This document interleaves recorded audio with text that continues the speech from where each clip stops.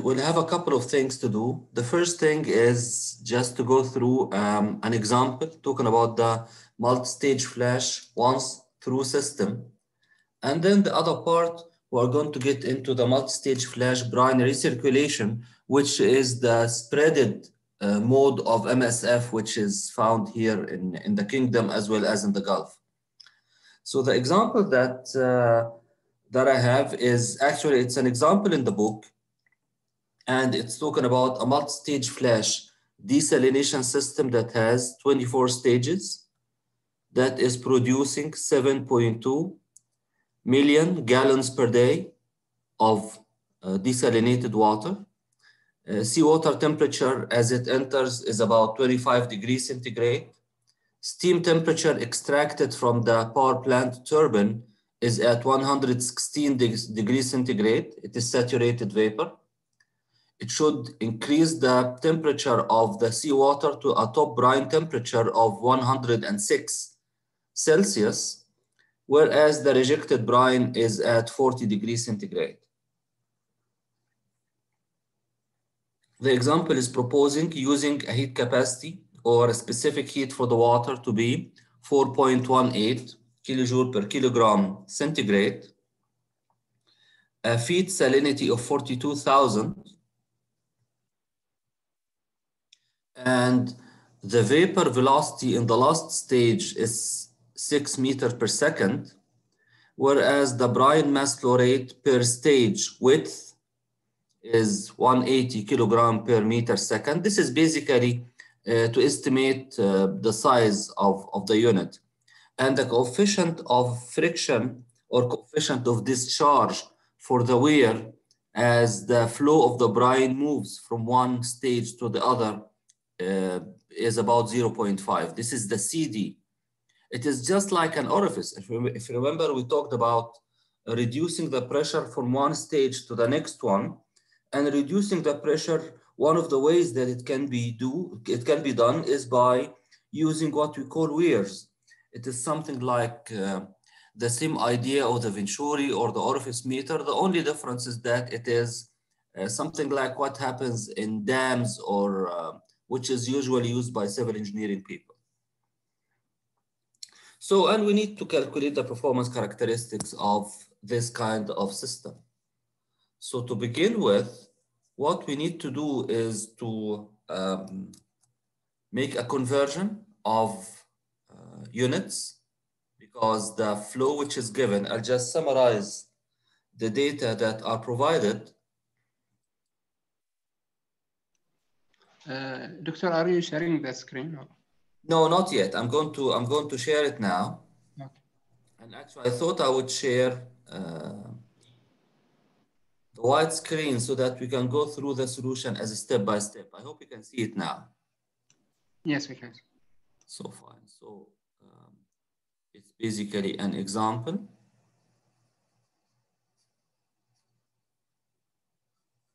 And we are talking about a multi-stage flash once through system. The productivity m dot distillate is given as, um, yes, as I mentioned, it is 7.2 mega or million gallons per day. And this expression is common in, in desalination systems that have a large scale, talking about the productivity in million gallons per day. Um, steam temperature is 116 degrees centigrade, whereas the top brine temperature is 106 degrees centigrade.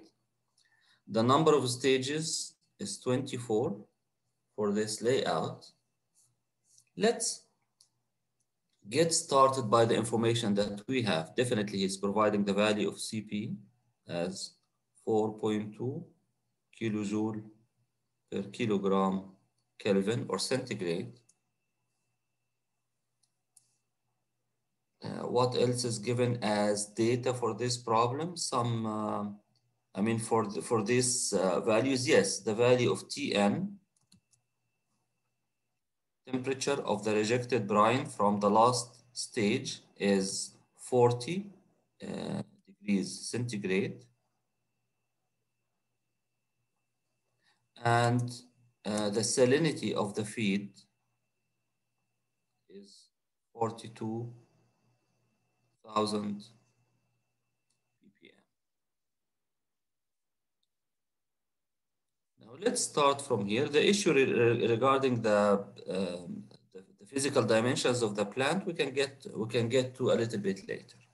Now to begin with, we need to work out with this so that we can convert it from a million gallons per day to kilogram per second. So m dot distillate is basically 7.2 into 10 to, the power of 6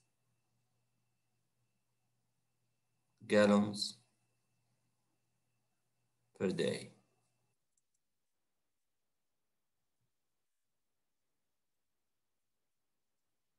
To convert from a gallon to cubic meter, we are going to say that um,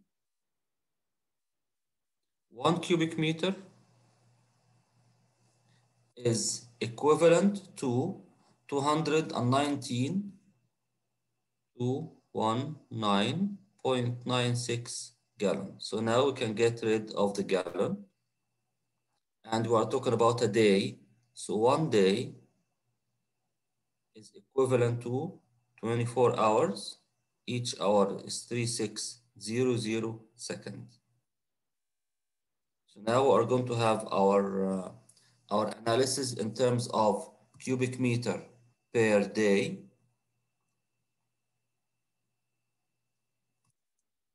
Then into cubic meter is a ton. So into 10 to the power cube, so that this is kilogram per cubic meter. That will give us a value of 378.8 kilograms per second. So this is the mass flow rate. Uh, what else we shall need here? We shall need, we know the value of the CP, it's already given to us. And then we have the average temperature, which is T naught plus Tn divided by 2. 106 plus 40 divided by 2. So this is about 73 degrees centigrade. Why do we need the T average? Because the analysis um, that we have done last time assumed that we are going to calculate the value of the HFG at an average temperature. And the value of HFG in this case has been found. You can get that from the uh, thermodynamic tables or the EES or whatever. And the value is basically 2330.1.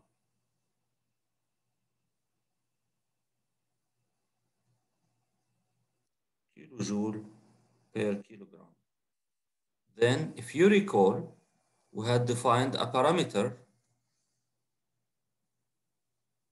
that we called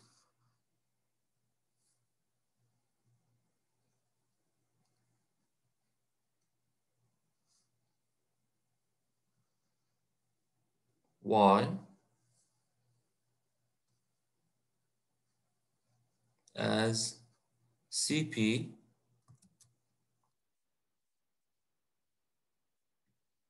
it was a ratio between sensible to latent heat. So it's CP into delta T divided by HFG average. So delta T is what we want. Delta T total is the top brine temperature minus rejected brine temperature, which is 66. Delta T per stage is that 66 divided by the number of stages.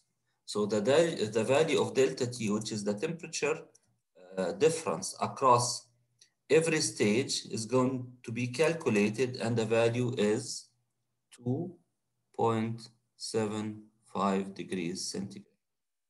Accordingly, we can calculate the value of, of y, Cp is 4.2 multiplied by 275, uh, 2.75 divided by the value of 2330.1 and this gives a value of y which is equal to 4.9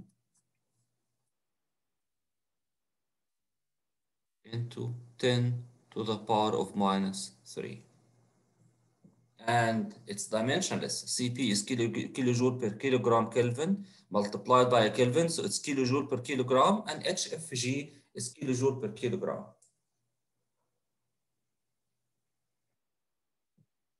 The expression Y, we have used it in many occasions last time. Part of it is to relate the feed flow rate to the distillate flow rate. For example, m dot feed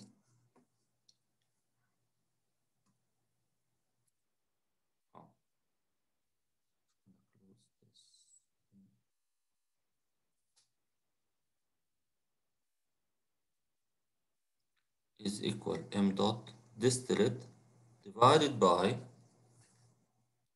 this relation, by the way, should be provided to you. You don't have to, uh, to memorize. 1 minus 1 minus y to the power n.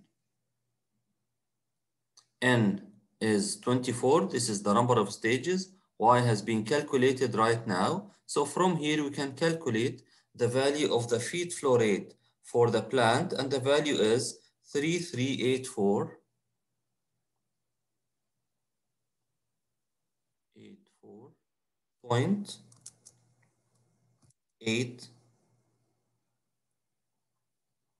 Kilogram per second. So we have now the feed flow rate, which was basically based on the relation that has been developed throughout the derivation that we did last time and coming up with uh, this link between the feed flow rate and the distillate flow rate.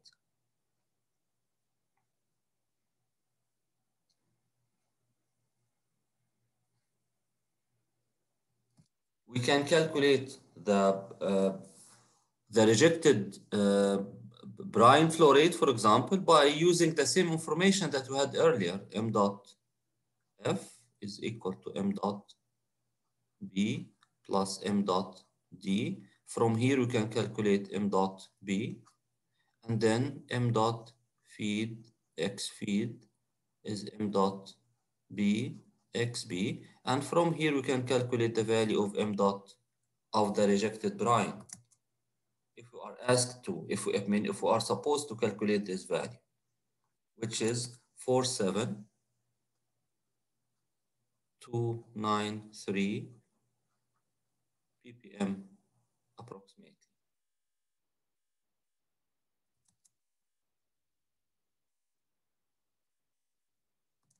And this value is 3006 kilogram per second. We have calculated the value of delta T, we know it. Accordingly, the value of T1, which is the brine temperature leaving stage number one, is T naught minus delta T. T naught is 106 minus 2.75.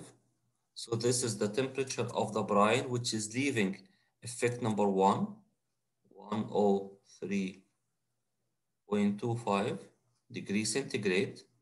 What we need basically is the temperature of the seawater before it enters the brine heater, which is a small T1. And T1, small T1, is Tf plus the number of stages into delta T. For you to remember, we had feed water coming here, m dot feed, at T feed and for the old for the OT for the once through system the value of TF and T cooling water is the same. Because basically here's the seawater comes here from the sea and enters into that part right away. And then it will go through different stages. So here we have stages.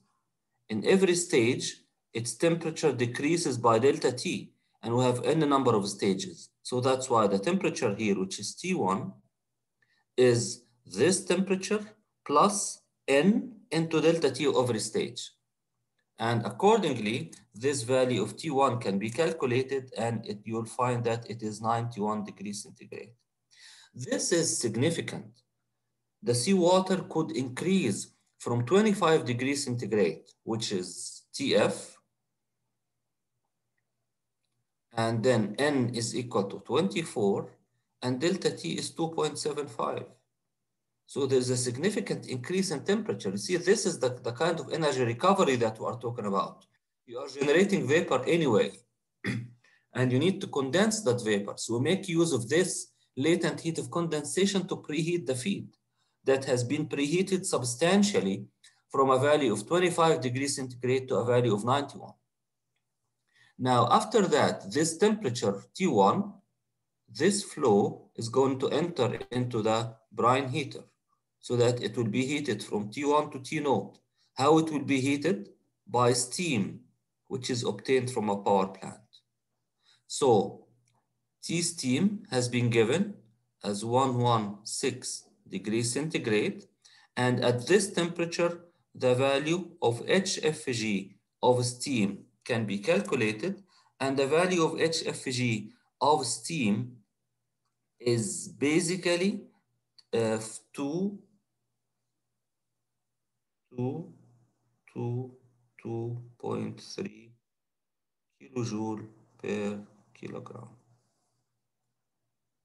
So that the energy balance for the brine heater is going to be m dot steam. We don't know this value, h fg of steam. We have just obtained it here.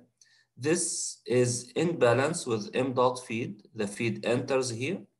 Cp and it will be heated from T1 to T node. Let's see, we have m dot feed, we have obtained it here. This is the value, 3384.8. CP is given as 4.2. T node is given to us in the problem as 106 degrees centigrade. And T1 has been calculated to be 91. So the only unknown in this equation here is the value of m dot s. Accordingly, m dot s can be calculated and its value is going to be 95.5 degree uh, kilogram, sorry, per second. Now we have the value of m dot steam and we have the value of the productivity. So we are in a position where we can calculate the PR of this plant, performance ratio.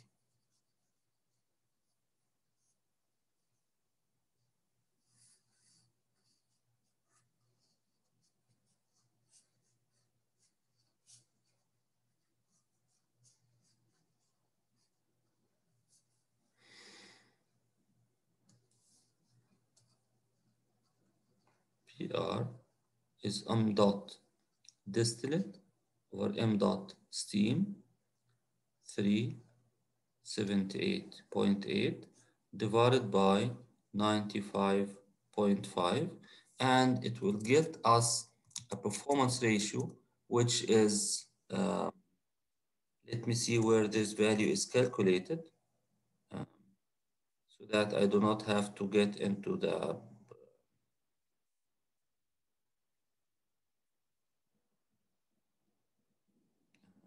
don't use the calculator. I don't find it here. So maybe I have to use my calculator. Maybe maybe one can use his calculator and tell us. 3.96, 3.96. 96. So this is 3.96. This is give is this is basically going to give us a clue of how the performance actually in, in real uh, MSF once through systems, the numbers are slightly different than what we have here. And we can get like a PR of somewhere between five and six. Whereas if I'm going to have 24 stages in a, in a brine recirculation system, I may get a value of some somewhere between nine and 10, which is, which is the maximum value that you can get currently from, uh, from the MSF technology. So this is the PR. Now, if we are thinking of calculating the areas, if I'm going to consider stage number one alone, so for stage number one, oh, sorry, let's, let's start by the, the brine heater. Since we have the information needed for the brine heater. For the brine heater, we have temperature of the steam, and we have the seawater temperature, which is being increasing. So this is T steam, and this is T1, and this is T naught. So here I'm talking about brine heater. And in the brine heater already did made the balance here of this. This is the this is the energy balance for the brine heater. M dot steam into HFG of steam is m dot Cp into T naught minus small t1. And then this Q heater, which is basically m dot steam into HFG of steam, is going to equal to overall heat transfer coefficient in the brine heater into the surface area of the brine heater into the log mean temperature difference of the brine heater. So we have delta T1, which is TS minus T1. TS is 116, T1 is 91. Delta T2 is TS minus T naught. So the log mean temperature difference here is going to be delta T1 minus delta T2 divided by ln delta T1 over delta T2.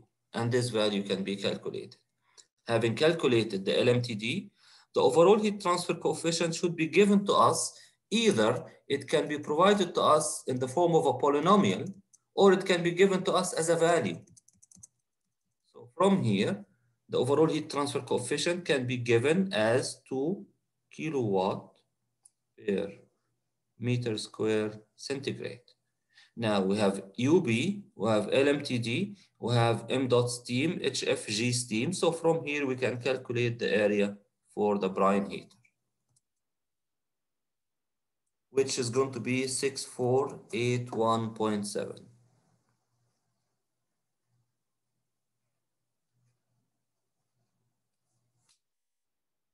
So this is for the brine heater. There's nothing new in this piece of calculation for the area of the brine heater.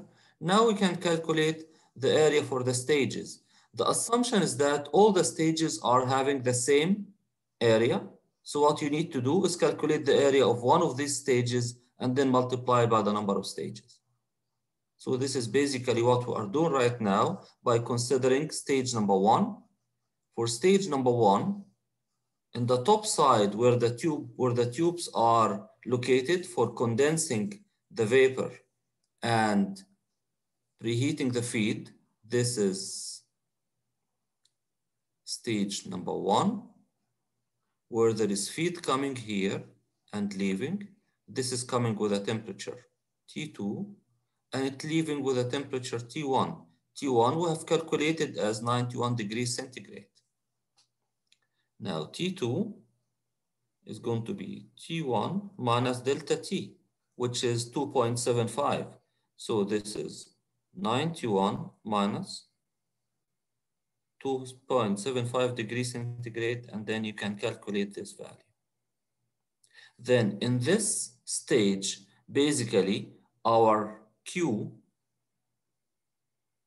is going to equal to D1, the vapor that is going to form here into HFG of the vapor. So we need to see how to calculate that. And then we have again the temperature profile in which we have vapor, temperature, which is used to heat the feed from T2 to T1. So this is T vapor, which is T1, or let's say it's T naught minus boiling point elevation. So the boiling point elevation should be provided to us either, for example, it's one degree in the form of a value, or it's given as a form of a polynomial, and then you will be going, going to calculate the value of boiling point elevation based on temperature and salinity. And here we have the value of T2. Temperature is going to increase to T1. So this is T vapor 1. So our delta T stage number 1, delta T1 is TV1 minus T2. Delta T stage number 1, 2 is TV1 minus T1. And then you can calculate the log mean temperature difference for this case. So log mean temperature difference is being calculated. However, we need the value of the heat transfer in, uh, in stage number one. So that we need the value of D1. D1 is Y into M dot feed. This is a relation that we have developed last time. And this is a relation that you may keep on remembering. Where did, where did this come from, this relation? Actually, it came up or it came from the value that D1 into HFG of the vapor is M dot feed CP T naught minus T1. And we said that CP, which is CP, into delta T. CP delta T divided by HFG is the value of Y. And from here, you can simply get the value of D1. Why we calculated Y? We did that earlier. And the value of M dot feed we have calculated earlier. And accordingly, the value of D1 can be obtained right away, which is 16 0.7 kilogram per second. Q1 is D1 into HFG vapor that we have calculated before at the average temperature between 106 and 40. And we said that we are going to use a single value of the average overall uh, uh, latent heat of condensation of the vapor. So knowing the value of D1, then Q1 is going to be D1 into HFG. This value is going to be calculated, and this is in balance with U1, A1 into LMTD1. U1 should be provided to you as well. It can be given either as a constant value or you will be having it as a function of, uh, of temperature, whatever, then you can sub just substitute and obtain this value. U, for example, is all also going to be considered as 2 kilowatt per meter square centigrade. We have the value of the log mean temperature difference. So the only unknown here is going to be the value of A1. Yes, يا عبد الله تفضل. دكتور الاريا حقت the first stage it's always bigger than the other right In this case, we are going to assume that it is the same area everywhere. I mean uh, real real it should be bigger because the temperature is uh, higher When the temperature is higher, you expect it to be lower, not, not higher. If, if this, if Q is the same, and you are using this relation, okay as the temperature drops, the value of the overall heat transfer coefficient drops, and the log mean temperature difference drops. To keep Q the same, area needs to be increased. But if we're about the case of mass production, normally they brought the areas to be the same. It's easier to manufacture stages that are identical in terms of areas. Okay. So practically speaking, for the MSF, they are basically using constant area. Now, based on that, the area is going to be calculated as almost 100, 1,580. And then we have the areas of one of the stages, we have the areas of the brine heater. So we are now in a position where we can calculate that specific heat transfer area. Specific heat transfer area. In our case, it will be the area of the brine heater plus the total, total area of the uh, stages uh, divided by the flow rate of the distillate water which is being produced. So from here, we can say that specific heat transfer area is area of the brine heater plus number of stages, area of every stage, and this is divided by m dot distillate and the value can be calculated.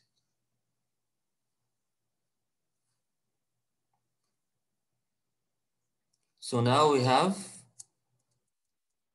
the, we can say that these are the heat transfer parameters that we needed for our calculations.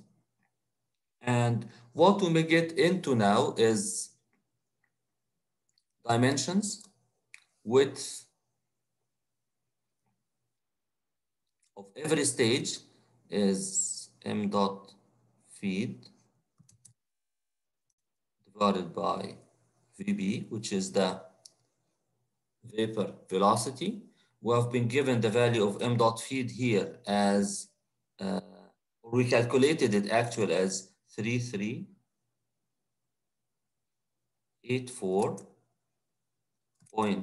3384.8 and we have been given the value of VB as 180. This is the velocity per width. From here you can calculate the width of the stage as 18.8 meter.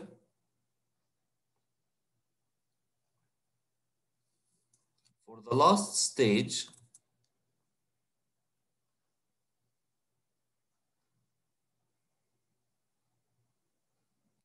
we were given the vapor, uh, uh, definitely the value of D24 can be calculated.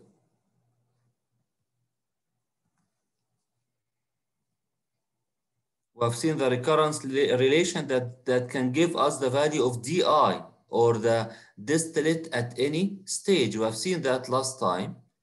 And um, we can get back, um, I cannot recall that, I don't memorize the equations. Normally I do, uh, I do derive it as, um, as we are moving on.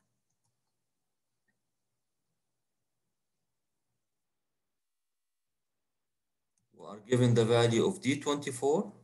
We are given the value of rho V at stage number 24. Then we can use the expression that we have as the length of the stage is nothing but the flow rate. Remember that m dot Cp is equal to rho V into C. So here we have to have rho, um, rho V into the area. So rho Vn is here. And the velocity in that stage is given to us as 6 meters per second velocity of the vapor at the last stage. And this is into the width of the stage that we have calculated now. So from here, we can calculate the length of the stage, which is about 2.6 meters. So every stage is 18.8 in width and 2.6 meters in length. What we may calculate after that is the gate height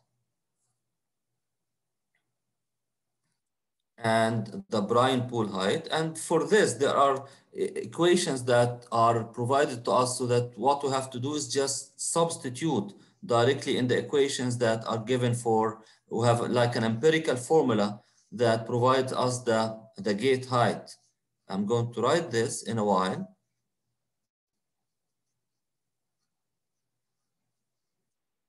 So basically what we see is some sort of a standard or typical steps that we can do for a problem to go from one value to the other.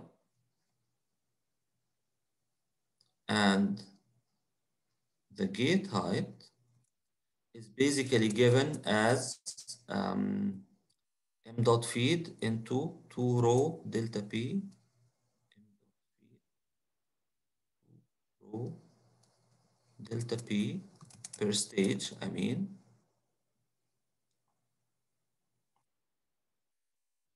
It's all to the power minus half. This is all divided by um, CD into the width.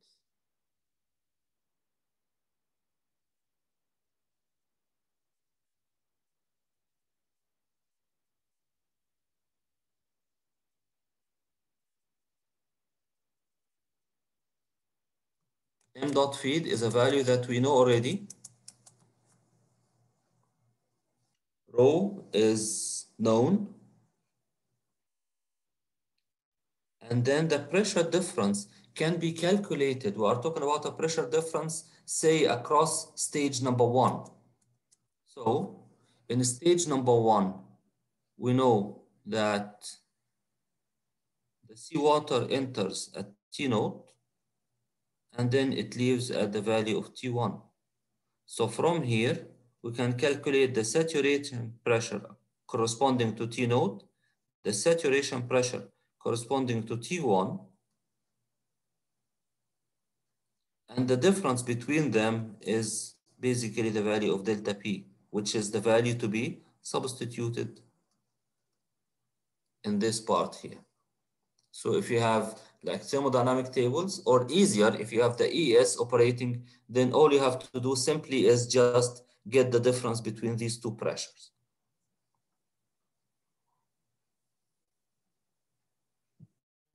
And from this point, you can calculate the gate height, which happens to be 0.078 meters. Then the brine pool height going to be the gate height plus 0 0.2, so it's 0 0.278 meter.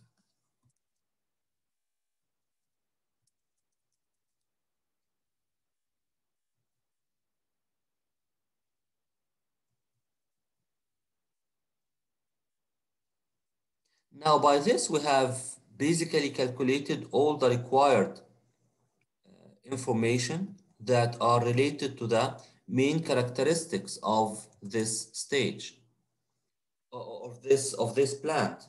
Uh, this is according to what's needed in the example, but if you needed to go more and more in terms of details, we are going to use that if remember the recurrence relations that we have considered last time. For example, you can calculate the gate height of every stage, you can calculate the productivity for every stage and so on. So that's something which can be done. Um, I would recall the, the presentation I shared with you last time. And this presentation is basically having this kind of table. Let me, uh, let me share a file with you which has this kind of um, of, of this detailed calculation and that can be taken from um, uh, share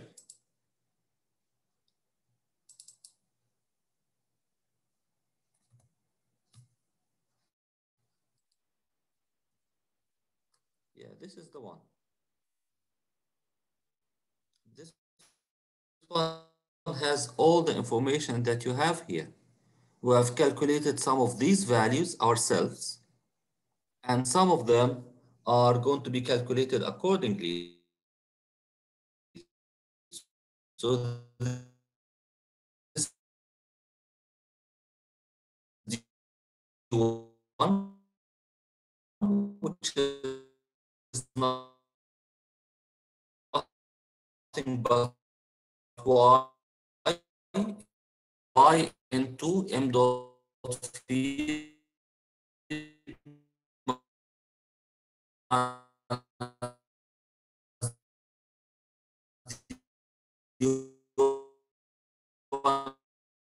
minus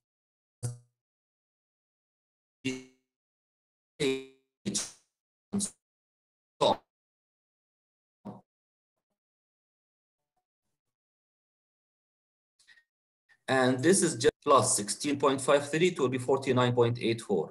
Plus 16.45, it will be 66.6.3, and so on until the end. And B is nothing but m dot minus this accumulated value. So that it will tell me, for example, the brine which is leaving stage number 10 is m dot feed minus this 163.3, which is the accumulated distillate in the previous stages. X is obtained from the value that m dot feed into x feed is equal to B, which is the brine leaving a certain stage, multiplied by its salinity, and hence you can get the salinity this way. You have x dot x feed, m dot feed, and you have brine leaving one stage. So from that balance, you can get the distillate, you can get the salinity of the distillate leaving that stage. Temperature, we started by the top brine temperature, 106, and then you are going to reduce 2.75 in every stage. So the difference between each one of these values is 2.5. The seawater enters at 25 degrees centigrade. After it passes stage number 24, it will increase by 2.75. So it is 27.75. And then it will increase by 2.75 again to be 30.5 and so on until we reach the value of T1 of 91.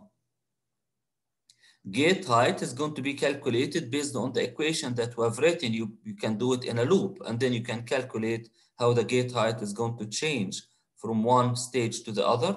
And the height is nothing but the gate height plus 0.2. So based on this, a small um, EES program can be written where you can put this kind of equations and you can put all the values or you can calculate a table like that easily from this kind of a loop. So the process is, um, it's, it's a little bit lengthy, but it's a standard process. A step by step you would go through and then you can get the values that you are looking for.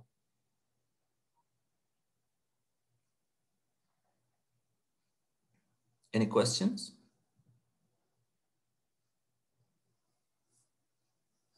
Yes, Doctor. Uh, Yes. regarding the gate height uh, that we have calculated uh, two seconds ago, uh, this is was the average, right? It's not for each uh, student. Or- No, no, the one that we calculated was for the first one. Okay. If, if you remember, we calculated, for example, how the pressure is changing between effect number one and effect number two, which is see. one, the saturation temperature at T1 minus the saturation temperature at T2. The saturation pressure at the given temperature, T1, and the saturation pressure at T2. And then we could calculate the value of delta P for the effect number one. And so on. So this is basically what we have done. Let me see if the screen is still there. Uh, yes, it's still here. You can see here, m dot feed. This is what is entering the stage uh, one. Stage two, what will enter is not m dot feed, but it will be basically B1. For example, let me, let me put an example here. If I need to calculate the gate height,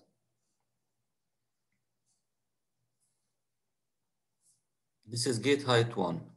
If I need to calculate gate height two, what is going to enter? It will not be m dot feed, but basically what is going to enter is B1. Why B1? Because this is m dot feed minus the quantity of vapor that has left in stage number one. So the seawater that will enter stage number two is going to be less. And then you can assume the density is constant. Uh, you can even assume that delta P is constant. It's, it is not necessarily the case, but you can assume that. And then CDW. If everything is constant, but this value keeps on decreasing, then the value of the gate height is going to change. And this is why the gate height is changing from one, if one stage to the other. Did I answer your question?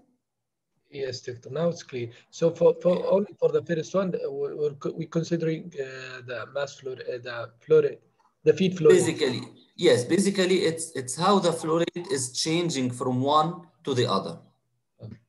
So for example, if, if you if you consider uh, let's say the the third uh, the third stage, then the we'll take uh, prime uh, P2, right? Exactly. So if you, if for example, if you want to generalize it, you can put it this way.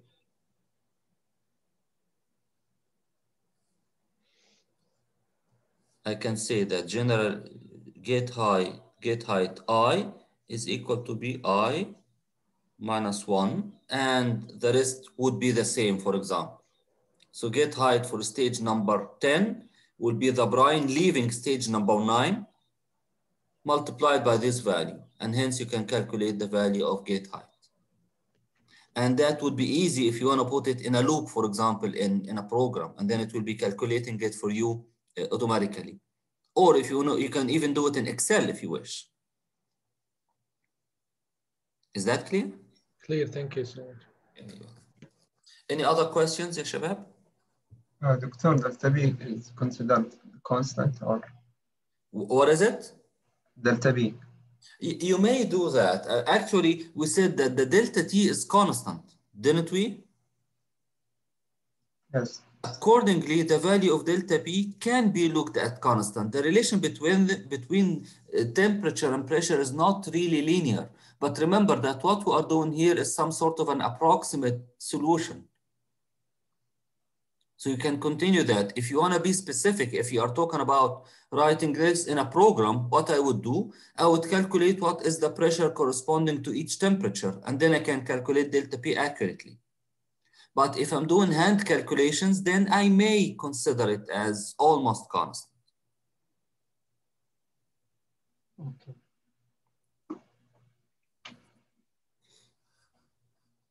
For example, say that, uh, uh, let me clear all the drawings here. Say that I need to calculate, um, for example, I have, I'm creating a table where I have the value of T1, T2, T3, T4, and so on. So in that table, I can get the corresponding saturation pressure for each one of them. And then if I have P1 and P2, so delta P1 is basically P1 minus P2. And then I have 4 and 5, so delta P5, what will be P4 minus P5, and so on. So that you can get delta P corresponding to every one of the stages. This is if you need to do it in all in details and you are sitting and doing it at the homework, for example, then that's something that you can do. Because all you have to do is go to the EES and use that formula that P saturation of I is equal to P sat, for example, of steam with temperature is equal to T I. And then you are talking about for I equal 1 to N, which is 24, and then next, something like this. And then you can you can create all the pressures that you want here in, uh, in a loop, or even you can do something uh, further by, for example, coming here and writing that delta pi is p i plus 1 minus p. Uh, actually, if you are going to write it inside the EES, then you are going to write it this way. So it would be p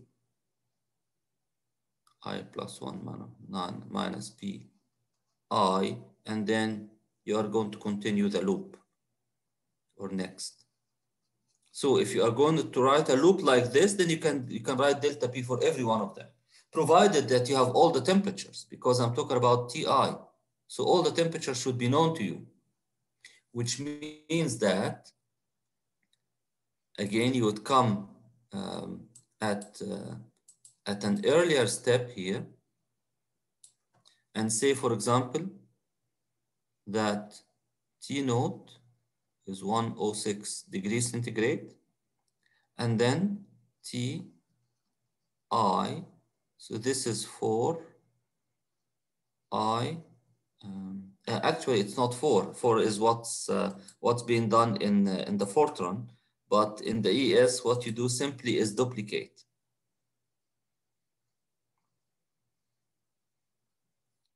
I equal 1 to n, for example, and then ti is t naught minus i into delta t. So that t1 is t naught minus delta t, t2 is t naught minus 2 delta t, t5 is t naught minus 5 delta t, and so on. So you can calculate the temperature at any stage, you can calculate the corresponding saturation pressure, and then you can calculate the pressure difference. Then, if you wish, while you are inside the loop here, you can calculate delta, delta T uh, or the gate height for each one of them. You can even expand that loop so that you can say, for example, that um, BI is m dot feed, BI is m dot feed minus I into DI. And then you can calculate uh, uh, di is not the same. No, you are not going to make it i, i minus di. You are going to do it step by step. Like um, uh, it will be um, actually B1 is going to be m dot feed minus D1. So here you are going to put some sort of a summation. If you don't recall the summation as I don't recall it now, all I have to do is just get into the help of the EES and see how to do the summations because this should be summation of the DIs from I equal one to I equal I. And then you can put it this way. So it's not, it's not I into DI as you can see it here. It's a summation. For example, if I need to say, I need the value of B5, it will be M dot feed minus D, uh, D1 minus D2 minus D3 minus D4. So uh, this D1, D2, D3, D4 is, is better placed into a summation. How the summation is going to be done, you can, you can just look at the help of EES and it will tell you how to do it. And then you can get your whole table that you have seen inside a duplicate loop like this, where it will calculate everything to you.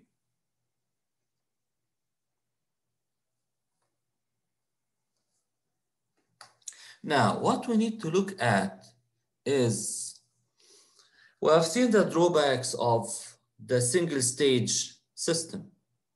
And the single stage system has this problem of um, let me see here that I would share this. Yes, the single stage has issues. One of them is that you are going to use lots of chemicals because the the uh, the, the once through system you are going to use much chemicals because as the fluid gets in it is pre-treated by adding chemicals into it. It will be preheated and then it will go to the brine heater to be heated to the top temperature. And then it will flash from one stage to the other and at the at the end you are going to throw it away. The example that we have a while ago we needed 300 about 380 kilogram per second. To do that, you had to use something like 3,800 kilogram per second, and then you are going to throw to throw away 3,005 kilogram per second.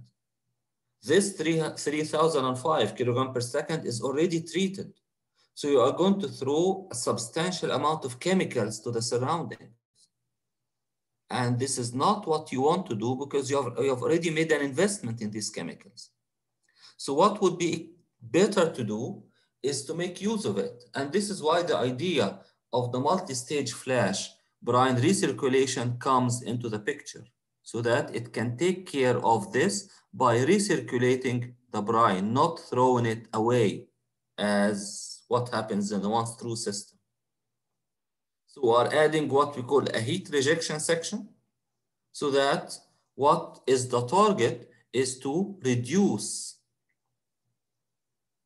the issue of pre-treatment that we want. You are going, you are not going to pre-treat all the water which is needed here, but only a part of it. And the rest is going to be recirculated again through the system. It's going to solve this one problem. The second problem that it will solve is that it will not be affected by the seasonal variations in temperature. Temperature in the summer is 30, temperature in the winter is 15. If this is the case, you can try this on a once through system and see the performance of the unit is going to change from summer to winter. This is not what you want to happen unless, as I said last time, you can use a heat exchanger to preheat the feed by the brine which is being rejected. But you are rejected brine at 40 degrees centigrade and the feed is coming at something like 15 to 25.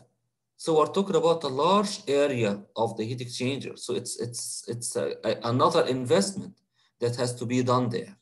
Maybe this all can be saved by using recirculation of the brine. Is it coming for free? No, because when you circulate the brine, then you are talking about a recirculation pump, which is going to be huge and it's going to consume lots of power. Now the issue talking about, shall I use a single stage as a heat rejection section or more? This slide answers this. Now what will happen? You are going to bring seawater from the sea at temperature T cooling water, and this is going to enter here into a stage, a heat rejection stage, where it's going to be preheated from T cooling water to T N. And then you are going to take it here at Tn. Part of it will be rejected to the sea, and the rest you are going to recirculate back to your system. So you are going to recirculate it back to the last effect. Note that the temperature which is entering here is entering at a temperature N. So basically, you have heated the seawater into Tn. How are you going to heat it? You are basically going to heat it by the vapor which is rising here. But the vapor which is rising here is raised at a temperature TV. This TV is basically Tn minus boiling point elevation. So how can you increase the temperature from T cooling water to Tn using vapor which is less than Tn? This is not happening. This is what we call temperature cross. And this is what you see here in this figure. I have here fluid entering at a temperature Tn minus J. And it is going to cool down from Tn minus J to Tn due to flashing. And then the vapor that will rise, it will rise at a temperature Tn minus boiling point elevation, which is this. So I cannot use this temperature to increase this from T cooling water to Tn. This is not going to work. So I have a problem here that a system in the way that we are seeing in front of us is not going to work. So what is the solution? The solution is not to have a single stage as a heat rejection stage, but to have more. So here what we have in this system, we have two stages. So that you are getting the temperature here of T cooling water, and then you are going to increase it to T N here. Now, let's look at this. And uh, actually, uh, the norm, or normally what you do, you are going to consider basically uh, three stages as uh, this is the standard now in the industry. three stages at heat, heat rejection stages. Then let's look at the profile. What would happen here? I'm not sure if I'm putting it in a figure or not. It seems not. But basically, when you consider here the temperatures, what would happen? Now, the temperature here, say it's T n minus J. For our case, J is equal to 2. Then we're talking about a temperature of the seawater coming to be 25 degrees centigrade and say the value of Tn is 40 degrees centigrade. You are going to increase the temperature from 25 to 40, which is here. Constant increment, right, Doctor? Excuse me? Constant increment. And, uh, Yes, we have a constant increment, exactly. So the temperature difference across this part is not the same as the temperature difference across this part. So from, from here to here, we have a temperature difference which is not the same as the temperature difference as used to be here. And this is the key. When you need to do this kind of heating, you are going to do it this way. You have two stages here. You have a vapor temperature here, and you have a vapor temperature here, which is less. And then right here, you are going to have an increase of temperature like this, and then another increase of temperature like this. So that is basically the key when we operate a system like that, so that we can avoid this issue of having this kind of temperature cross. So the temperature cross is being avoided by having this kind of distribution of the stages into multiple stages. It's not a single stage, but multiple stages. Accordingly, you are not going to heat it in that stage from 25 to 40, but probably are going to heat it from 25 to 30. So when you are talking about a Tn here, 40, then the temperature of the vapor is going to be something like 38. And 38 is good enough to increase the temperature from 25 to 30. The temperature here is going to be something like 43. And 43 is good enough to increase the temperature from 30 to a temperature of 40 because the temperature difference is, or this vapor temperature is higher than both. So we are not going to experience this kind of temperature cross when you increase the number of stages. Here we have two stages, but typically what we have in the industry is three stages. Actually, when you look at most of the recent MSF plants which are located in Jubail, you'll find that there are two sections. This is what we call heat recovery section. And then here we have heat rejection section. In the heat recovery section, now as of the latest unit, we have 16 stages. And the heat rejection section, we have three stages. So basically, you have a total of 19 stages, 16 plus 3. The previous versions of the MSF plans used to have 19 plus 3. So that a total of 22. But currently, Al-Jubail 2, for example, Al-Khobar 2 are having that 16 and 3, which is typically the standard in MSF technology at the moment. So now, why do we have more than one stage for the heat rejection section? The answer is to avoid the temperature cross that may occur if we used only a single stage. And while answering this, we can make a plot like this one corresponding to a single stage heat rejection just to indicate the problem that we have. That TV is responsible of heating the cooling water. It cannot increase it to more than its value. So basically it's going to increase it only to a smaller temperature. And then you are going to mix seawater at lower temperature with the seawater at higher temperature here. What's the problem of doing that? What if the temperature coming here is, this one is 40 here, but this one is 35? What's the problem? The problem is that this mixing is going to result in entropy generation. Entropy generation is one of the problems that we need to avoid as much as we can when we are operating a multi-stage flash desalination system. So to avoid that, this temperature here has to be at the same value of Tn. So we cannot bring a lower temperature here to be mixing, but mixing should be occurring at constant temperature. Accordingly, we avoid the loss of exergy, which is associated with entropy generation. Is this point clear? Because it's important. This is one of the main reasons why we are going through um, um, and avoiding the drawback of uh, temperature cross that would occur in the last stage so that the standard is the number of heat rejection stages is three. Now, other than that, what is going to happen in a system is simply you have seawater coming.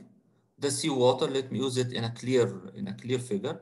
The seawater which is coming here, it's going to be preheated in the last stage, and the following stage, and the following stage, where it will be heated from T cooling water to T feed. T feed here is equal to Tn. And then that feed is going to be recirculated back. So part of it is going to be thrown away to the sea that we don't want, and the rest is going to be taken here to be recirculated back to the last stage. So what we're entering in the last stage basically is our m dot feed. And the m dot feed here is going to enter into stage number 24 to compensate for the for a couple of things. We have to, to throw away some brine because this brine is of high salinity. And we need to control the salinity. This is why we are doing this mix. So we are throwing away brine at a salinity of say 70,000 ppm and we are increasing a little amount of the feed at a quantity of 42,000 ppm. Thrown away 70,000 and bringing in 42,000. So definitely the salinity that's going to result in 24 will be less.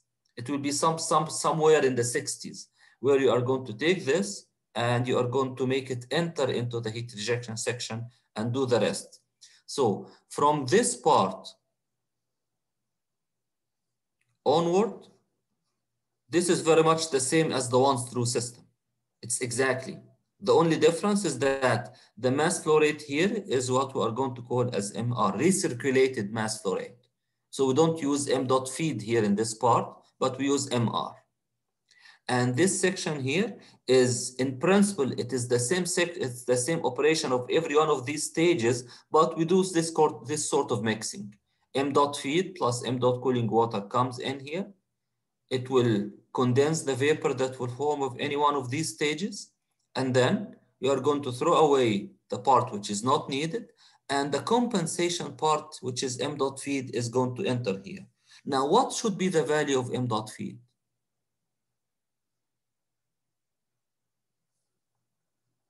It should be compensating for what? I have a certain quantity of M dot R entering here, isn't it? Which is entering here to be heated to the top brine temperature. And then it will enter in every stage. In every stage, it is going to lose some vapor by flashing.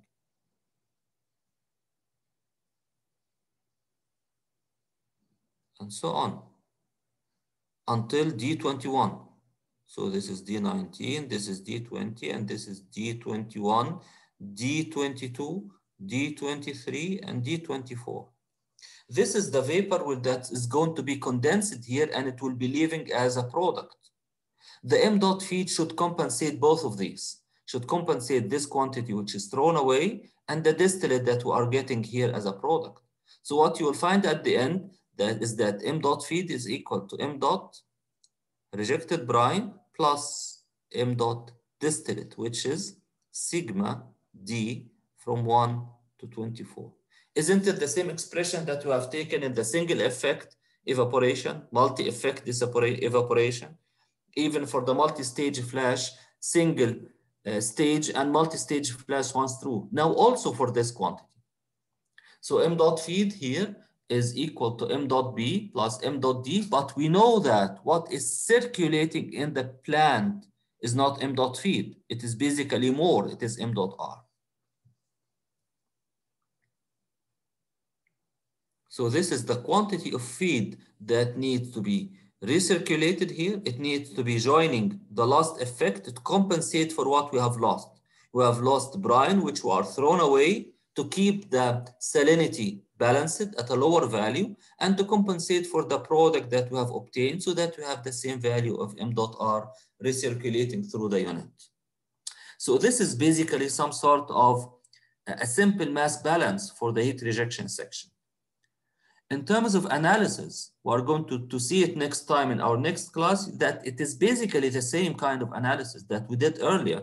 We're only going to change some terms. Instead of m dot feed, we're going to use m dot r, and then we're going to look at specifically at what's happening here in terms of mass and energy balance, because there's going to be some sort of a difference compared with the one through system that we had earlier. Uh, this is it for today. Now the, the time is up now. And uh, remember, in our next class, there are a couple of things that we're going to do. We're going to continue this, uh, the analysis for the MSF brine recirculation system. And we have also a quiz. The quiz is about uh, multi-effect desalination. You have homework number four in your hand now. It's, I think it was three problems related to MED and the quiz is going to be somewhere close to this uh, to this part of, of the course talking about MED. So this is all going to be on Sunday, inshallah. Questions? Monday, you mean? We leave now if you like, the time is up. And if somebody has questions, then again, I'm, I'll be staying for a while to take questions. Doctor? Doctor, اتفضل. uh, did you upload the uh, MED uh, videos in YouTube? Again, uh, I need to check that, uh, yeah, Dawood. I, I, I'll check it now. If, if it's not there, I would just, I'm taking a note now. I'm writing. they, they are not yet, Doctor. They are not there, so I'll, I'll make sure that now that I'll, I'll upload them. Okay. Thank you. Okay, you're welcome. Doctor, Yes. I have a question uh, regarding the project. Okay, for the project, uh, probably we need to meet separately so that we can discuss it. Um, today I have an appointment, uh, uh, so at one o'clock I will not be able to be there. So maybe that's something that we can check um, later today or earlier. For example, um, uh, what about at 10.30 if you wish? If I you- have a quiz that time. Oh, you have a quiz. Fine. So let's let's make it today, for example, at um, will seven o'clock be okay? 7 p.m. 7 p.m.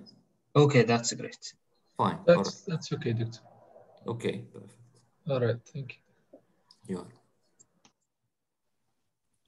Uh, doctor, اتفضل يا سلطان. uh, regarding uh, just a quick question about like the project. Uh, Mhm. is is it okay like if we finished before uh, the deadline and we submitted it uh, to you to check it maybe or Yes, why not? You can submit it to me tomorrow if you wish. I have no problem with this. The earlier, the better. yeah, but uh, uh, Yeah, so I know. so I know you that can- you need you need me just to check it, and then you can continue if something is not right. Yes, definitely. Yeah. Yeah. Oh, perfect, perfect. Okay. Okay, just uh, quick. So on on Sunday is the homework, and No, the homework is on, yeah, Sunday. Uh, I said the homework should be Saturday so that I would uh, post the solution on Sunday. So Saturday, anytime, and just post the homework because I need to make the solution uh, available for you before the quiz. so the quiz will be on Monday, right? That you, the quiz will be on Monday. So I was thinking that you can put your solutions on Saturday Yeah. Or let's let's say Sunday at noon, 12 o'clock. Okay. Yes, That that's be better, better. Doctor. This is better. Okay. Okay, Thank so we'll do that. Uh, after 12 o'clock Sunday, I'm not going to receive homeworks and I'm going to post the solution. Inshallah. Okay, perfect. Thank you, Doctor. Inshallah. Okay, يا